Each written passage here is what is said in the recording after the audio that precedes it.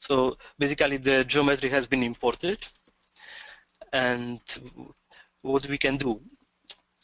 Uh, at this moment I'm going to expand the uh, geometry tree just to show you the components of the assembly. So we are seeing the geometry for the lever, there is a geometry for the shuttle, geometry for the base, and second shuttle. So because we want to perform multi-body analysis, we're supposed to always go to the properties and investigate which body type is uh, stands for our geometry. So for the geometry which has been imported, this option has been already changed. But if you want to, prefer, to, to perform structural simulation, default option is always flexible. So this is the first step that you're supposed to uh, remember always, and uh, you, you have to change that to rigid. Of course, if your object of the analysis is the uh, rigid body uh, motion simulation. So this example will be exactly like this. Uh, I will show you how to perform rigid body simulation. There will be no flexible parts, but it's also possible in Midas NFX. But let's say it's a little bit more complex. So we have the lever, which is rigid. We have shuttle, rigid, base, it's rigid, and the second shuttle is also rigid. Um, another important thing that I forgot to tell you, all of the rigid bodies supposed to have um, material so this is something uh, different from the structural analysis because usually material is related with the physical property of the element. Uh, but right now we are working with the geometries, so we have to assign this to provide the data about uh, mass and inertia, for example. So these two things are supposed to be checked, material and body type. And of course, material can be defined from the material branch, and and I hope you know this. So the second step is creating a joint. So joints can be uh, created uh, by uh, by clicking on this tab and clicking on the join command. So let's hide all the guiders and I will start to assign some joints. So as I said uh, during the presentation, joints are used to constrain the rel relative motion uh, of a pair of rigid bodies by, let's say, physically connecting them. So basically what we are doing at this moment, we are creating a kinematic pairs. So let's start from the grounded body, which is supposed to be present at every uh, mechanism. So this is why I'm checking this ground body. And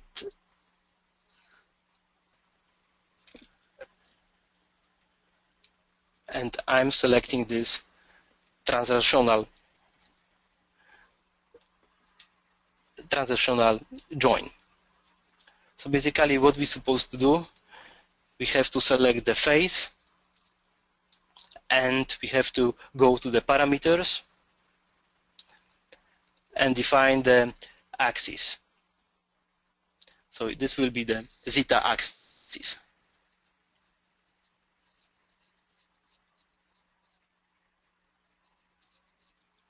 Okay. So we have this. And these connections will appear under connection branch. So we have the first. Uh, we have first joint and let's create the second one. So this type we will use this type body to body and we will assign some relative constraints uh, between the rest of the body. So I will use I will use this transla translational parameter again. So I'm clicking on this and I'm selecting as the master. I'm selecting this face from the shuttle one. And as you see, the slave object is available right now. So this um, informs me that I have to select the second phase. So I'm sim simply clicking on this, and I'm selecting the second phase uh, from the from the base. And with this orientation, we see some local coordinate system um, appeared. So again, we are going to the parameter and we are uh, selecting the axis related with this joint. So this will be x-axis.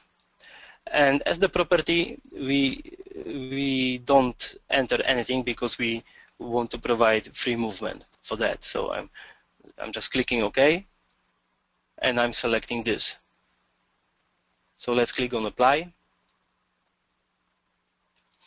And uh, this graphical representation of the joint has been presented in both for the both joints. And we are doing simply the same with the with the second shuttle. So let's hide the base for the moment. Let's select first phase from the second shuttle. And now we can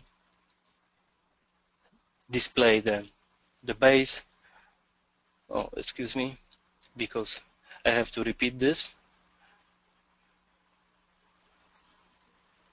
So now I have, I selected the face from the shuttle and I have to click on the slave and simply select the second phase. And once again, allowable uh, degree of freedom will be related on with x-axis so it's already checked. So I'm just checking this and uh, I'm simply clicking on apply. So we have free free joints and now we are going to add some uh, some revolute joints because we have to constrain the motion between the shuttle and um, and the lever. So we are starting from revolute number one. So I'm selecting this joint, revolute. The joint type is body body again. I'm clicking on the face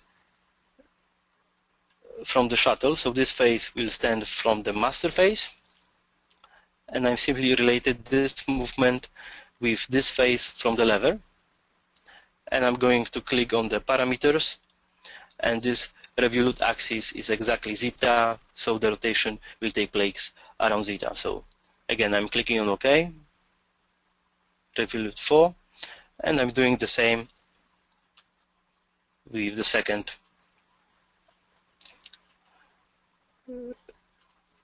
with the second shuttle and I'm creating another uh, kinematical pair. So just to check it's supposed to be exactly the same. So we have zeta, and we are clicking OK. So I think I made a mistake with the first uh, joint, so I will simply go to Edit, and I will simply use the join, not the translational constraint. Probably uh, because simply I'm not sure if, if it works. It's possible that for this configuration it will work, but I think the, the join uh, is the right one. So I'm editing this and I'm clicking on OK. So all of the joint links has been created.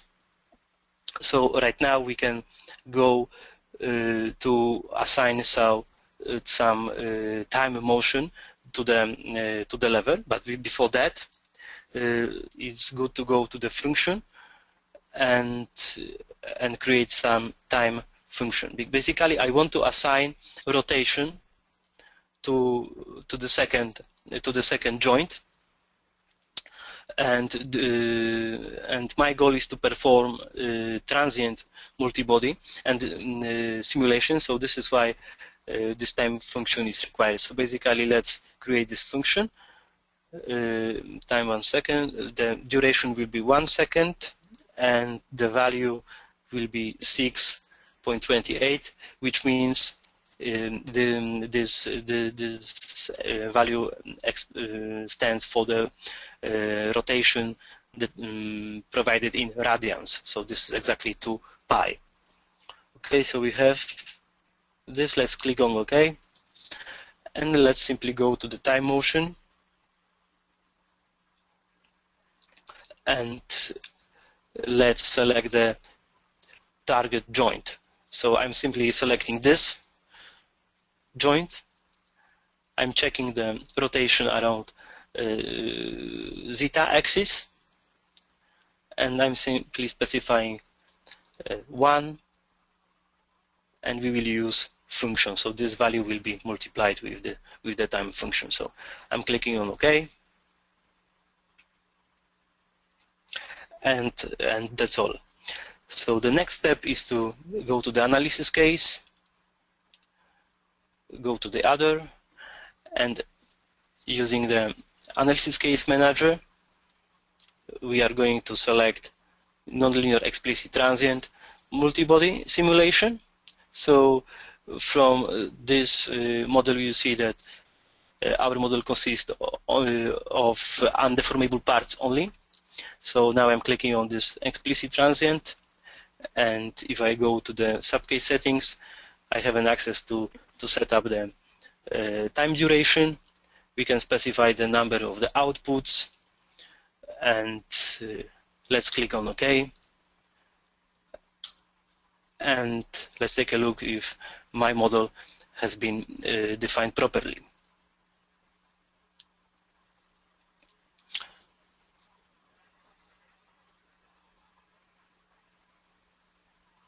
So let's wait a bit. This simulation don't supposed to take too much time. So as you see, it was very fast. So uh, let's uh, play the animation to see results. So now I'm going to uh, to set up the scale. So I'm selecting real. I'm clicking on animation and let's uh, skip uh, some intervals. So let's play every second interval and let's play the animation. So you see, uh, my simulation has been performed correctly now we can observe uh, the motion of uh, our uh, let's say slider crank mechanism okay there is one thing that let's say I forgot because as I said we have a new feature which is called marker so basically now I would like to back and simply show you how to assign this marker how to uh, how to add uh, another point for investigation. So basically, markers are created automatically at the centers uh, of gravity of your parts. But what you can do, actually, you can create much more markers at every position you want. So for example, let's create some marker, which means again, a local coordinate system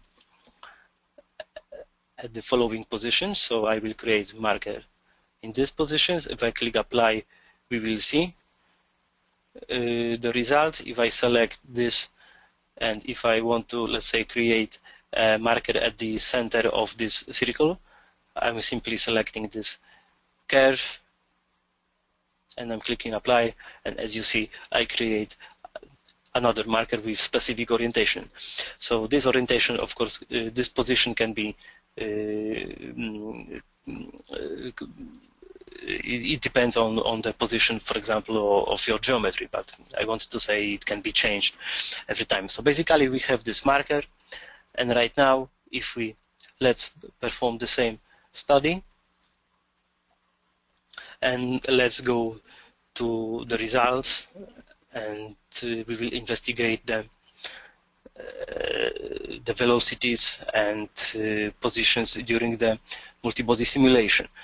So I'm going to the results and from this uh, from this group I'm selecting the transient results. So as you see we can probe the results from the geometrical points with edges, faces, parts and markers. So right now let me display the markers that I made.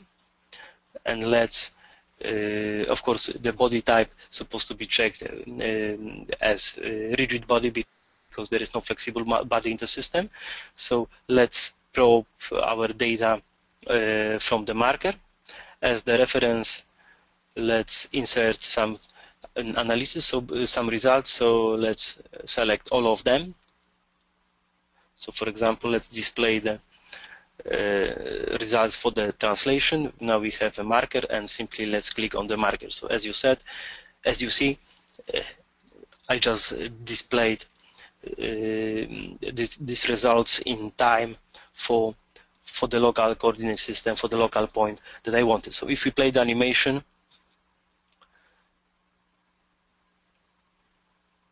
you will see that this um, vertical line will change its position uh, interactively, so it's possible to study the data uh, in the same time. So data can be exported to uh, to Microsoft Excel, so we are able to use this data for another post-processing if we want to display, let's say, joint results, this is the tool that I'm showing you at this moment. So basically, we are able to display joint force and uh, joint moments.